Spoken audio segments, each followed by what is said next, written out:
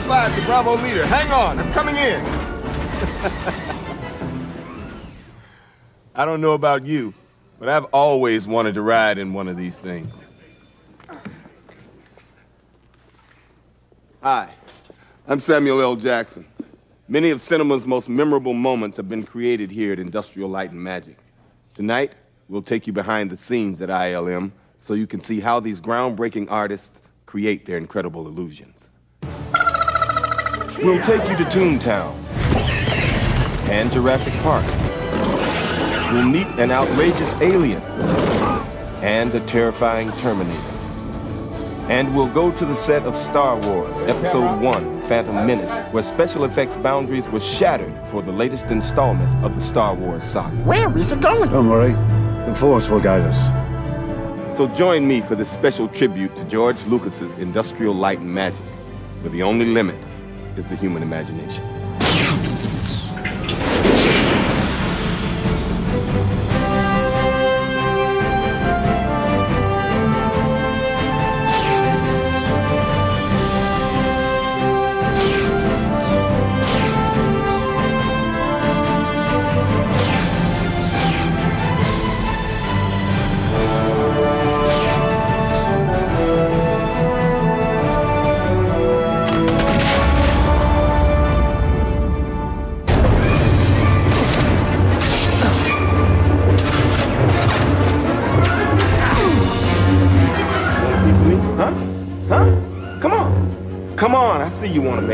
Make your move. Make your move. Come on. the double-bladed lightsaber. When you absolutely, positively got to kill every droid in the room, except no substitutes. These were used in just a few of the 2,000 visual effects shots seen in Star Wars The Phantom Menace.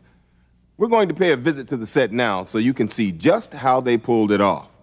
But first, I'm going to do some damage.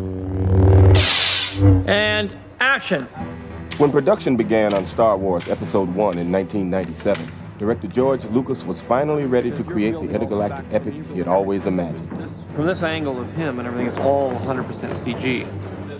Armed with an unprecedented arsenal of visual effects tools, Lucas undertook the monumental project that would feature an underwater city, a deep space demolition derby, and more than a thousand digitally created characters.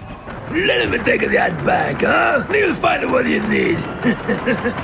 My original vision for Star Wars was to, to have a film that had spaceships and had creatures and had all kinds of fantastic uh, things going on in it, but the uh, ability to create those things was extremely limited. So I waited really until we had perfected the digital technology we needed so I could have a story that was more like the one that I could think of in my head. If anyone could bring Lucas's grand vision to life, it would be his own special effects dream factory, Industrial Light and Magic. Over the past two decades, ILM had changed the face of cinema, capturing 14 Academy Awards. Lucas could have used them back in 1975 when he undertook the first Star Wars film with the visual effects equivalent of Stone Age tools. I got him! Great kid! Don't get cocky! I had a, an idea of a movie that involved a lot of special effects, a lot of ships flying around in ways that, that uh, nobody had ever seen before. I went around and looked for a special effects company uh, or, and or a special effects department in a studio, and they were all gone. I can't shake it. To make matters more complicated, Lucas was having trouble convincing people that audiences were ready for his fantastical vision. So I'm picturing the stuff that I'd seen you know, on Saturday afternoons on TV, you know, where you could literally see the wires holding up the obviously plastic or cardboard spaceship kind of going. Mm-hmm. I said, Oh, really? You want to do that?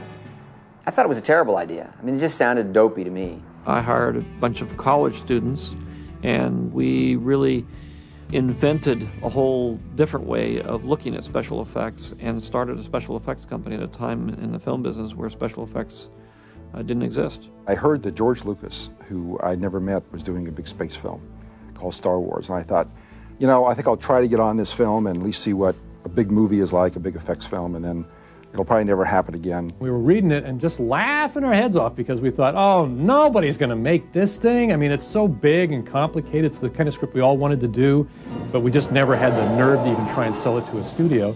We thought nothing would come of it. Armed with a paltry $3.5 million budget, Lucas went into production and his effects team pitched their tent in an old warehouse in Van Nuys, California. We were all relatively young then and uh, full of, uh, you know, vim and vigor and ready to try anything. And George also was great at just inspiring us to try all these different things. As soon as you came up with something that was different or a new way of looking at it, everybody's eyes just lit up and, you know, wanted to go even further. Three quarters of the crew uh, had never worked on a feature film before. The average age was about 26 and it just sounded like a really cool thing to do. I got a phone call from a friend of mine and said, Could you draw spaceships? Sure, no problem. Yeah. The way ILM photographed those spaceships changed special effects forever. Traditionally, models were filmed by moving them in front of a stationary camera, but the Star Wars team moved a computer controlled camera around the models, a process that became known as motion control motion control allowed George Lucas and, and the people at Industrial Light and Magic to uh, create a lot of motion and activity in a, in a shot that, that normally would have been static. He'd show us uh, some footage from a World War II film or documentary footage showing a maneuver that a couple of fighter planes were doing that we had to turn into X-wings doing those maneuvers. And he wanted to, in a sense, create it in, in sort of a documentary style, as if you actually had a cameraman in there in the action, shooting it from another airplane that was going by or another spaceship that was going by. Meanwhile, the cast wasn't exactly convinced that the effects team had perfected this new technology. No. Um, I had the sense that it was uh, that it was a pretty rough craft at that at that point. I mean, they were very they were very clear about what they could do and and um, how to do it. But for the actors, it was pretty simple. It was just a matter of imagining what really wasn't there and reacting to it. We Come out of hyperspace into a meteor shower, some kind of asteroid collision. Not on any of the charts. When the film was complete, Lucas and ILM had created a milestone work that silenced doubters and became an international phenomenon. From the first frame, you know, completely transported in, in, in a way, you know, that, that I'd really never been before. Left the theater and looked back up at the marquee and I just said, we got to see it again. It was such a quantum step beyond anything that anybody had ever seen before. You know, it was tremendously exciting. I got really energized by it. In fact, I sort of quit my job as a truck driver and said, well, if I'm going to do this, I better get, you know, I better get going. Strap yourselves in. I'm going to make a jump to light speed. The film was far more effective than I'd anticipated on the level of special effects. And that was clear from the opening frames that this was a lot more than three goofballs and a guy in a monkey suit. There was a substantial dramatic element here that was supplied by the special effects. It's really the, the, the filmmaker and the storyteller and how well they're able to tell the story that counts in the end. The technology is used to tell a story, and that's the whole point. When Lucas began work on The Empire Strikes Back, he opened ILM's doors to fellow filmmakers such as Steven Spielberg, James Cameron, Robert Zemeckis, and Ron Howard. His company then began a two-decade Oscar-winning rampage, leaving creative and technical boundaries, as well as box office records, in their wake. Coming up, ILM's magicians conjure up Episode 1's Theed City, Jurassic Park's digital dinosaurs, and a groundbreaking desert drag race that's out of this world.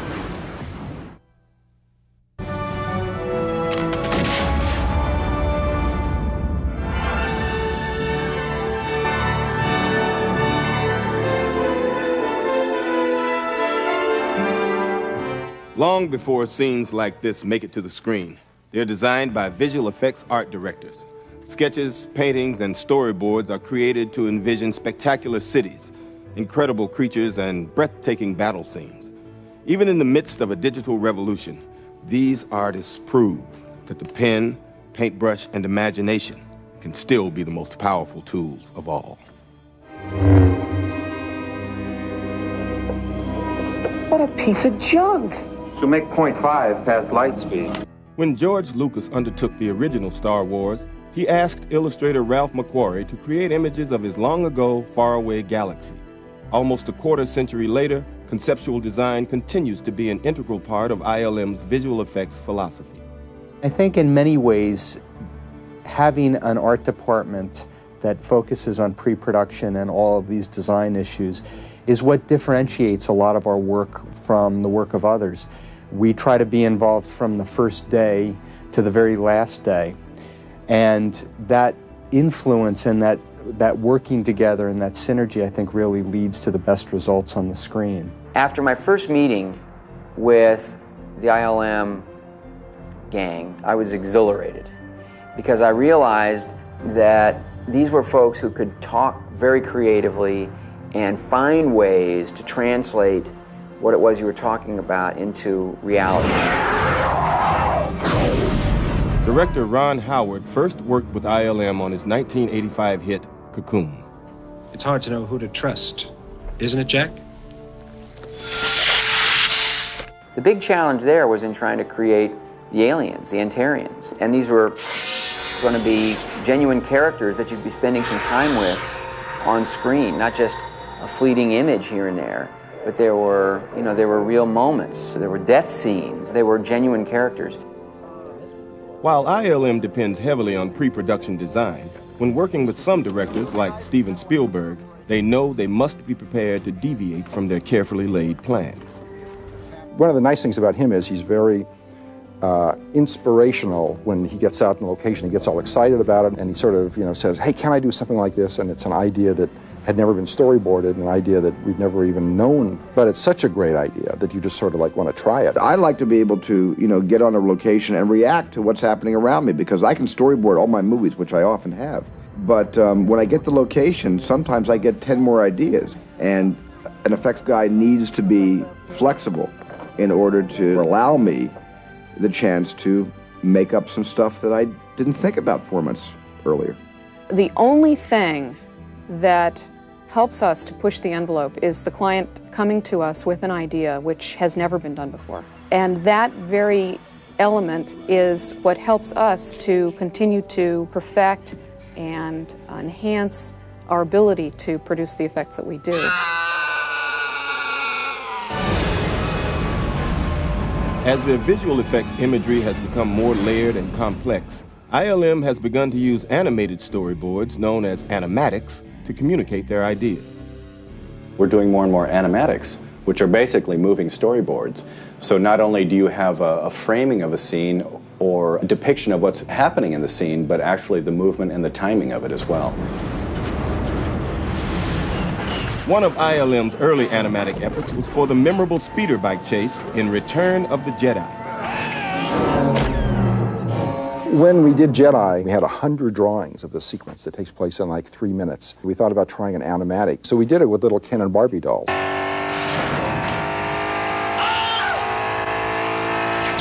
And on this little set that was like four feet wide and eight feet long, I could lay out the entire 100 shots of the speeder bike sequence.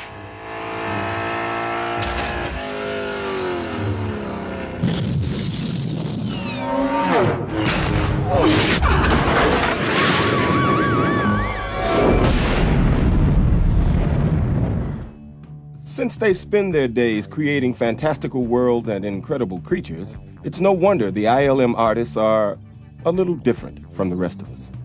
I think certain eccentricities are part of the character makeup. Uh, and I think you can really understand that when you go into their little workstations and you look around at all the art and and fetish icon they have hanging up on their cork boards and taped to the sides of their of their of their, of their workstations, you know, and, and, and then you see that some of these guys are girls are really weird, but um, but but weird in a bohemian way, you know. They're all very calm, but they're all discussing the most mind-boggling concepts. I used to sit in the canteen there and just listen to them.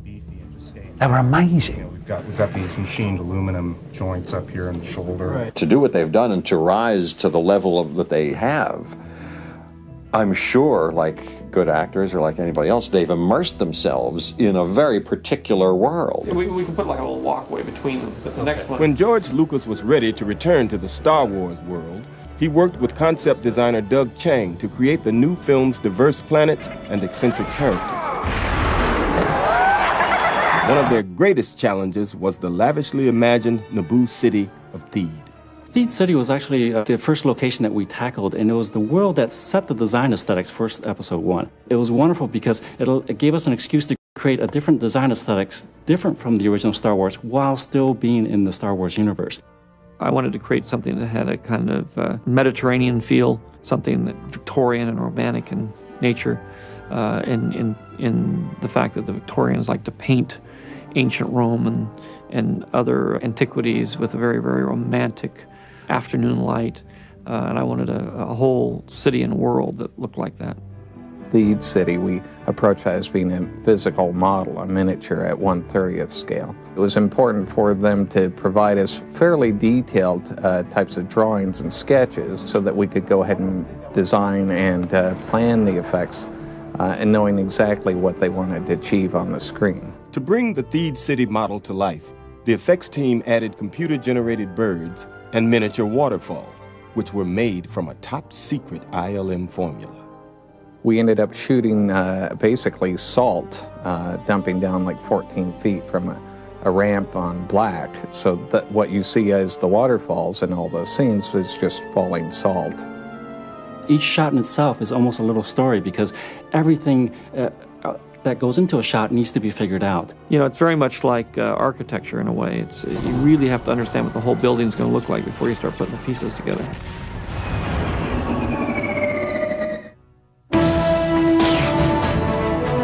Next, we'll learn the secrets behind ILM's digital creatures, from the T-Rex and the Terminator to the incredible Jar Jar from Episode 1.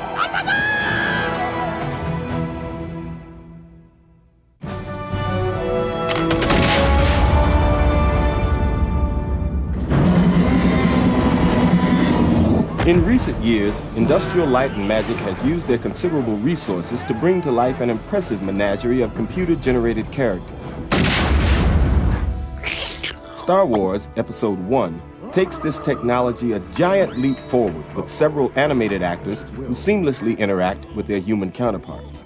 What, you think you're some kind of Jedi waving your hand around like that? I'm here in the Naboo Swamp where a friend of mine has promised to show us how ILM conjures up these incredible creations. Look out! You saved my again. Jar Jar, you okay? Uh-huh. Want to show us how you were created? Uh, on second thought, no. Not really, no, no. Hey, you promised. Don't make me get medieval on you. Ah. Your support is well seen. This way. Hurry.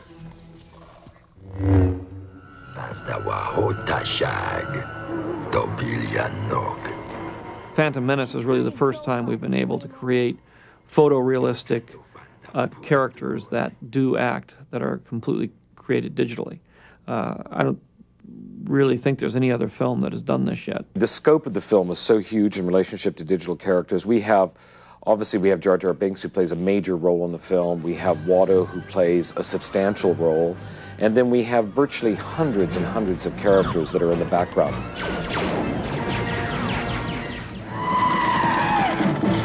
The groundwork for digital characters like Jar Jar and Watto was laid by visual effects legend Ray Harryhausen, who was a master of the stop motion animation technique.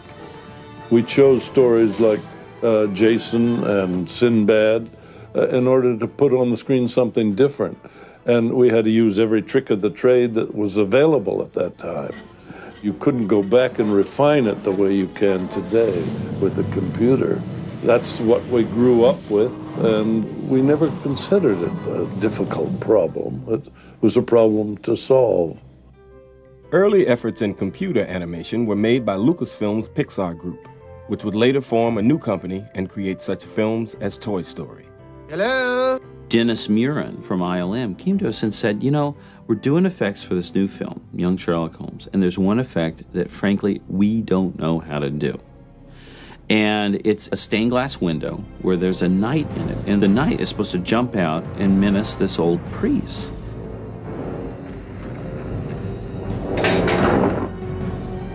So it was the first effect done with computer animation that was so perfectly blended with the scene.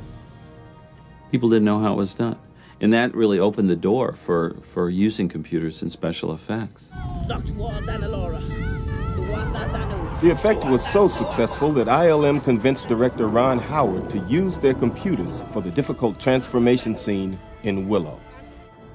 You know, I assumed it was going to be sort of your basic clunky, some dissolves, uh, maybe something we could do with a couple of puppets. But Dennis Muren kept coming in and saying, you know, I think there's a thing we can do with computers. And I said, what do you mean like a dissolve? He said, well, no, it won't be dissolved. It'll be, you know, a real blending. You know, the term morph hadn't, hadn't uh, occurred yet. ILM next undertook the complicated water tentacle or pseudopod sequence from the abyss. I think it was 16 or 18 shots, something like that. Nothing uh, that would overwhelm everybody, but you know, those 16 shots took, I think, nine months. And boy, did we just, we agonized over every detail. It was a perfect opportunity. And Jim, I think he had it in the back of his mind that if it didn't work, he could cut the sequence out of the film. But fortunately, we managed to, you know, to pull it off. It was a whole other order of magnitude when we did T2, and you have the the nemesis of the film uh, is entirely predicated on these effects working. Terminator 2 Judgment Day upped the stakes considerably by adding ILM's artistry to Robert Patrick's menacing performance. Get out. We didn't want him to be robotic. We wanted him to have a litheness and a fluidity that then had to translate into the animation. So Robert and I worked on his physical performance, his looks, his mannerisms.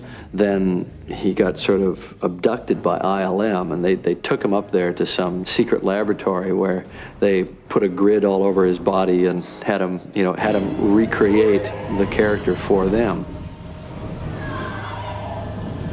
But it was pretty extensive, and it was also embarrassing. You're out there in your bikini briefs and uh, or a pair of nudo underwear that they gave me, or something, and a skull cap, and you've got these three-inch squares all over you, and you, you know, you're sitting there kind of going like, "Wow, this is really a trip." They really included me. I mean, it wasn't just about the technology, and there was a realization that we can't do this without you, and you felt like you were part of a team that way. I think that's the great moment in, in the course of any visual effects project where you take that kind of leap of faith that you have a good enough team, that you've done the steps up to that point that allow you to project the trajectory of your technology to the next level.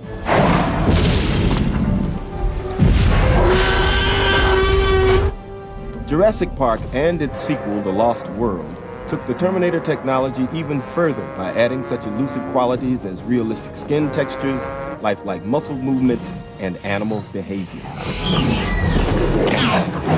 I, I think the pivotal moment in in um, the development of digital technology in film was Jurassic Park. When we were able to create a dinosaur that moved realistically, that could be put into the film and look real, we'd achieved that level that we needed in order to create what one might describe as digital cinema.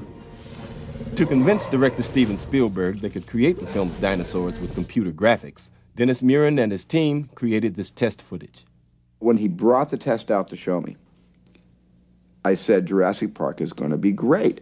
I mean, it's going to be, at least effects wise, it's going to be amazing. People are going to really believe that dinosaurs are walking the earth today.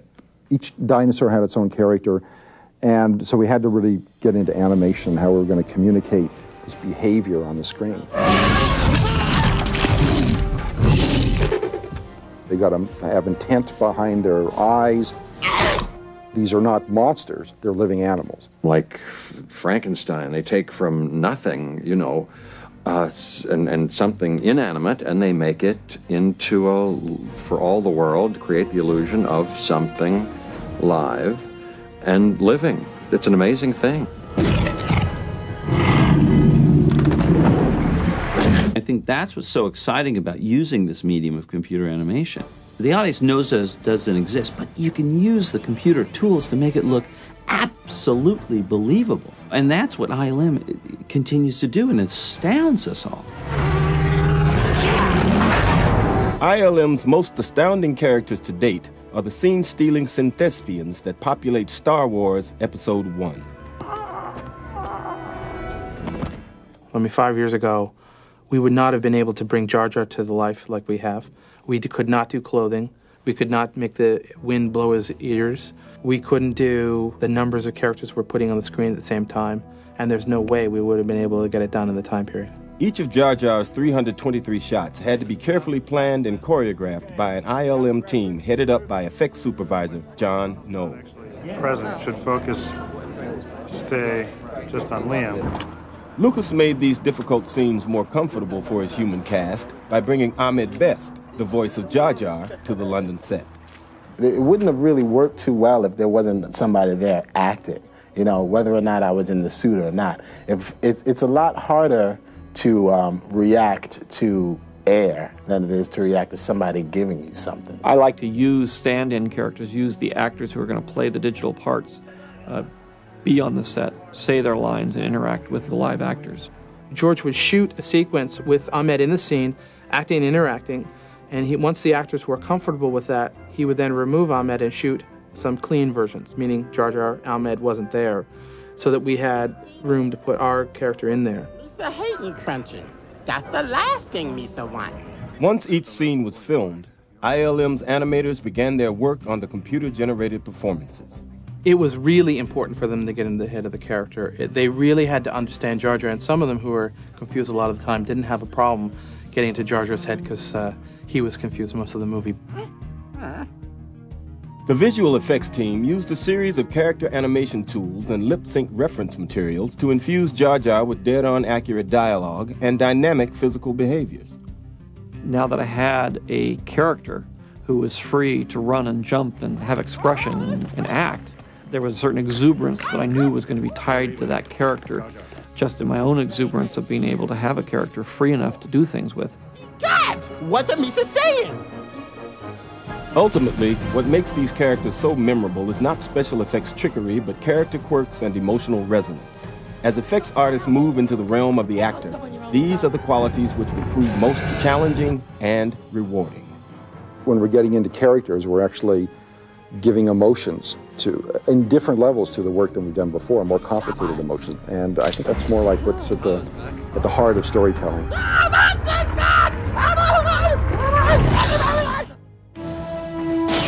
Coming up, a twisted look at some of ILM's most outrageous effects.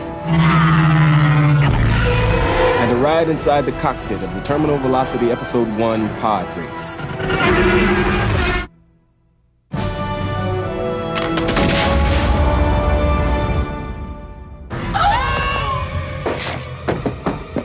This would be Meryl Streep's final scene in most movies. But industrial light and magic doesn't let a little thing like death get in the way. You pushed me down the stairs. With 14 Oscars to their credit, the artists at ILM have proven that for them, nothing is impossible. Whether a script calls for human contortions, alien life forms, or rampaging dinosaurs, they'll use their creative ingenuity to thrill and amaze us.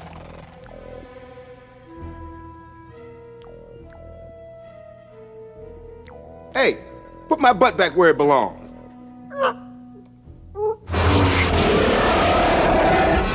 While ILM's work with digital characters has been revolutionary, many of their other efforts have been downright shocking. Some of their most bizarre effects were seen in the 1992 black comedy, Death Becomes Her. I approached the illusion in, in Death Becomes Her from a strictly from a storytelling point of view. I mean, I I presented the screenplay to the effects team, and I, you know, said, "Here's what I'd like to see." Just look at me. I'm soaking wet. Doing a human being is a lot more complicated than uh, anything. And it's just because we are so familiar with each other and how we all move and look and how we behave. My ass. I can see my ass. There's something really wrong with your neck, too. I mean, this is Meryl Streep we're talking about. I think she probably does a better job of it than we'll ever do. And so we wound up shooting her face, as you know, you know, with the blue screen of her head, and then shooting her body on the set. That was wild because we had to come in on one day and shoot the scene. it happened to be the day my mother was visiting the set. So I was trying to explain this to her. She said, Why the hell do you have a bag over your head? I come to watch you, they pay you all this money, you're acting with a bag over your head. And I said, Well, Bob says it will all go together. I just have to make a telephone call. Oh, no. In Forrest Gump, ILM used their human altering wizardry to even more dramatic effect when they digitally removed the legs of star Gary Sinise for more than half the film. Forrest Gump was different only because that it asked the effects to bring a lot more uh, emotional uh, resonance, essentially, as the rest of the movie was was trying to do. It wasn't trying to blow you out of your seat, you know, with some real flashy, you know, trickery.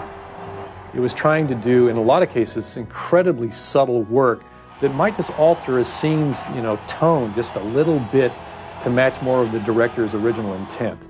Forrest Gump!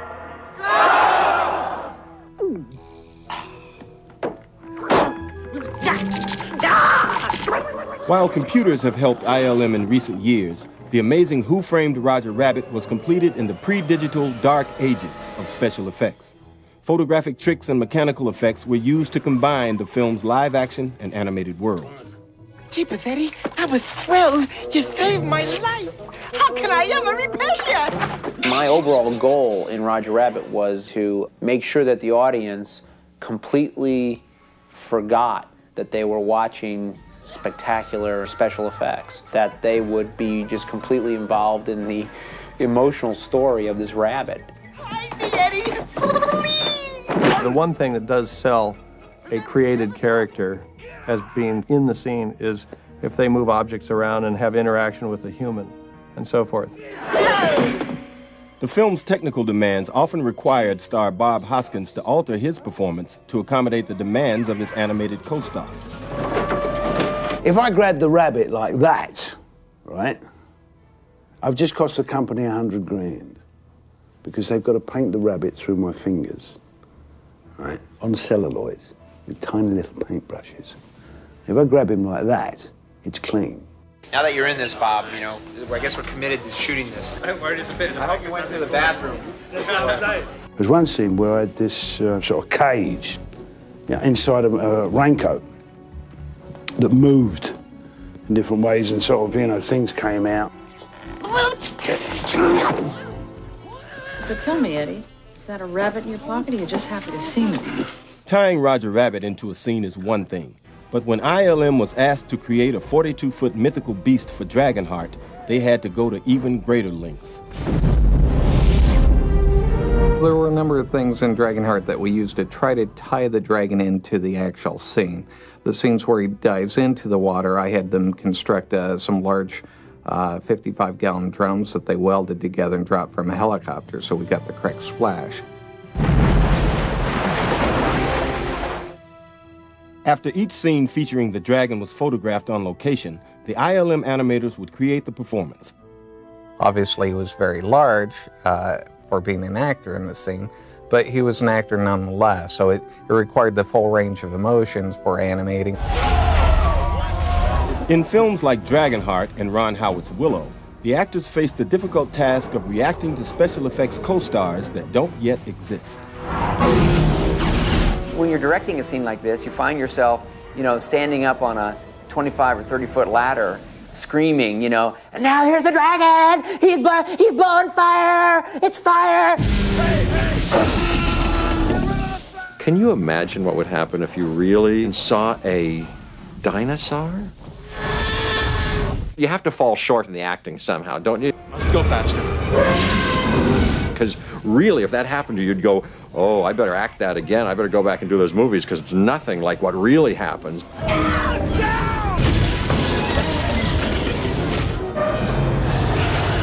In the hit comedy Men in Black, star Will Smith had to envision an even more outrageous co star when he had a close encounter with one of ILM's creations. There's only one way off of this planet, baby, and that's through me. The large alien uh, at the end of the movie, Edgar, um, was completely computer generated because the physics involved in making a puppet that could actually be as dynamic as we needed in the scene to fight with Will Smith um, really wasn't possible. So I filmed Will Smith jumping onto a blue substitute for the character as the first piece of film that we shot, and then we animated the alien character to fit into what Will was grabbing onto. I have no idea how they do that stuff. ILM is just they, they just do amazing special effects and it's, but it looks fleshy and it's from a computer. We've reached a point collectively where the only limitation is your imagination. If you can afford it and you can think of it, you can do it. There is nothing that cannot be imagined and then visualized by these artists. They really believe that nothing is impossible.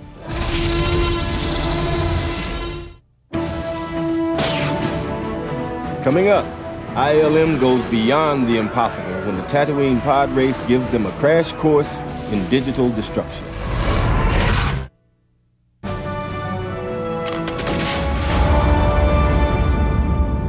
One of the most exciting scenes in Star Wars The Phantom Menace is the high octane pod race on Tatooine. The race took nearly two years to film and includes an incredible 320 visual effects shots, making it one of the most complicated scenes in motion picture history. For the first time, here are the secrets behind this spectacular interstellar hot rod rally.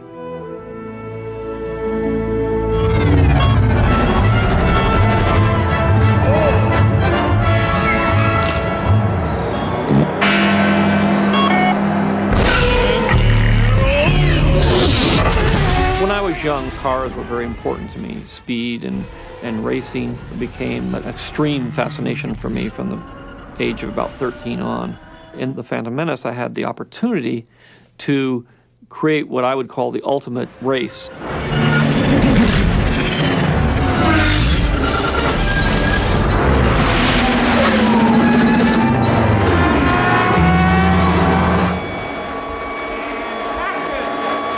To plan the 500 mile per hour race, an elaborate animatic was created illustrating each shot in the scene.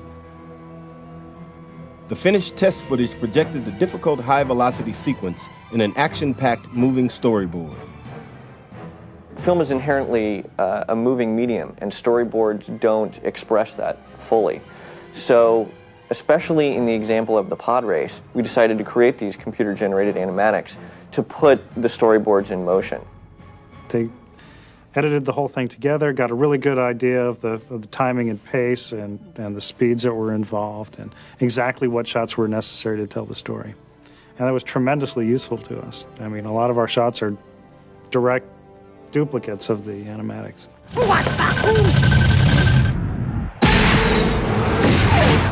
Ooh, there goes Quadinaros' power coupling. And then you look up and you pull back and you realize that you're. Production of the pod race began on a London soundstage. And you're coming out the other side, Jake? This is where the Tuskens shoot you. Be careful. Anakin Skywalker, played by Jake Lloyd, was filmed against a neutral green screen background, with motion provided by the onset crew. Climb through the canyon, Jake. Climb through the canyon. But uh, these shapes, you, Back at ILM, the effects team created the treacherous background terrains seen throughout the 500 mile race. We knew we could shoot everything on a helicopter and we could go to various different locations to try and create the whole uh, arena of where we were going to shoot. But as the storyboards became more and more real, John Knoll turned to me and he said, You know, I think I can do this all in computer graphics. It's desert terrain that doesn't really exist anywhere in the world. And the speed that we're traveling, we couldn't really set up a big model. The only real solution we had was to do the terrains uh, computer generated. In addition to the backgrounds, ILM also had to fabricate Anakin's racing rivals and their outlandish vehicles. Every pod is completely different. There are no shared parts between them.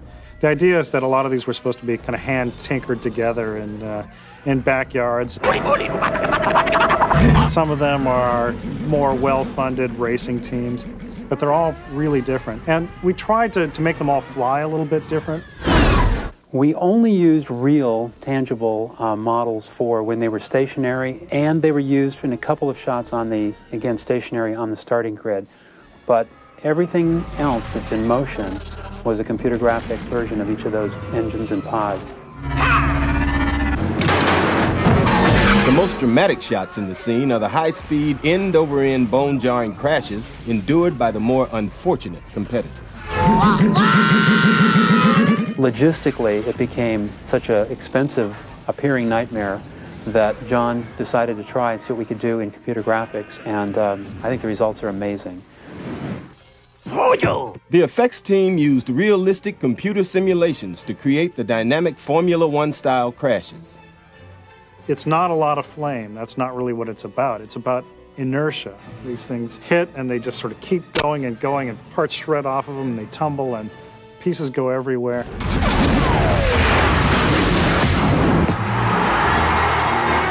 When Anakin triumphantly crosses the finish line, he is greeted by an elated crowd of onlookers who cheer his victory. The crowds are going nuts! In reality, this was a scale miniature housing an elated throng of more than 350,000 Q-tips.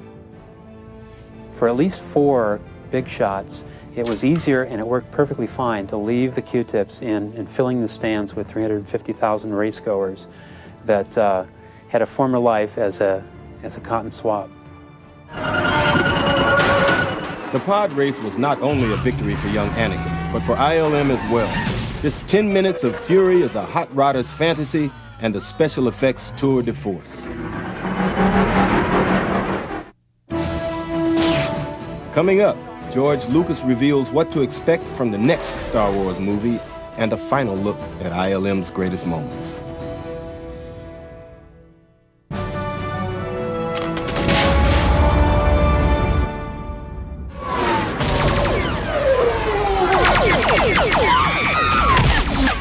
For nearly 25 years, Industrial Light and Magic has captivated audiences with their unique blend of groundbreaking technology and dazzling creative artistry. But some of their most exciting work may still be ahead of them. In the future, we expect to diversify into doing digital feature animation. We will hopefully be doing projects that are created completely in the computers. Hey, go with bitch! You know, I think given enough time and money, you can you can do probably just about anything. I think we could do a person. ILM will continue to explore new territory, but don't look for the next Star Wars film to be driven by special effects. You're a funny little boy. The next film ultimately is a love story. It'll still have some digital characters.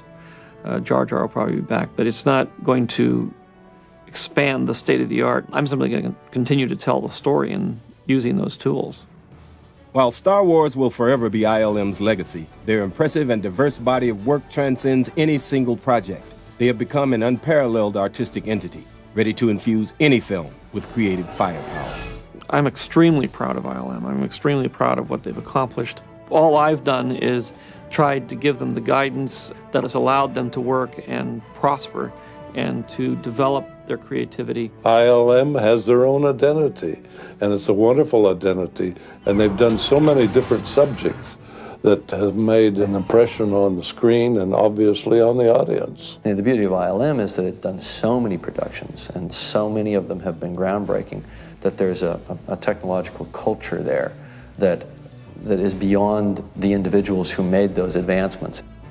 It's always going to come back to story and character and creating an experience, but how people watch it and what they can see is going to change and evolve. And if George has anything to do with it, I suspect ILM will be right at the center of all that. ILM has, has, has given a tremendous gift to the world, and especially to the world of you know filmmaking and filmmakers. They have freed our imaginations, and they have allowed us to dream and be guaranteed that our dreams will come true on the screen.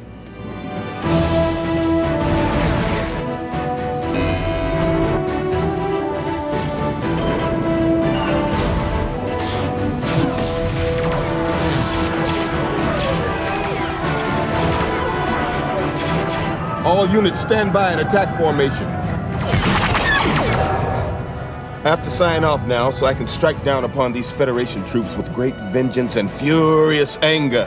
But I hope you have a new appreciation for all the challenging special effects work that goes on behind the scenes here at ILM. See you later, and may the Force be with you.